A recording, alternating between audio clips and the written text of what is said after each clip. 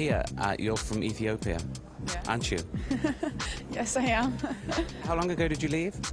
About five years ago. And was that because you wanted to become a model because you'd been discovered, or how did that happen? Yeah, it was because I wanted to be a model and just to come and get a better opportunity and that kind of stuff. You know, the usual. So you were exposed to fashion when you were growing up, were you?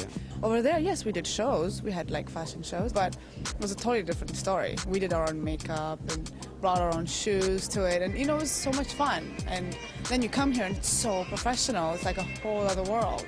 Were you discovered there actually then? Did, did an agent find you in Ethiopia and in Addis Ababa and say, you must come to New York? Um, I just did those shows there and, and then said, you know, I want to take this further. And I also was really thinking about studying in the States or somewhere else. So I thought, well, I can make money out of this and then go to school. So um, I just came. And what happened when you arrived in New York? Tough times. it was tough. Um, I went around, not, you know, looking for agencies and things like that. And it was hard. It was really, really tough. How old are you now? I'm 24. Is modeling part of a game plan? Do you have a do you have an idea of, of, of what you want to do with your life and this is a way to do it? Well, if it is a game plan, then it will take me wherever I want to go.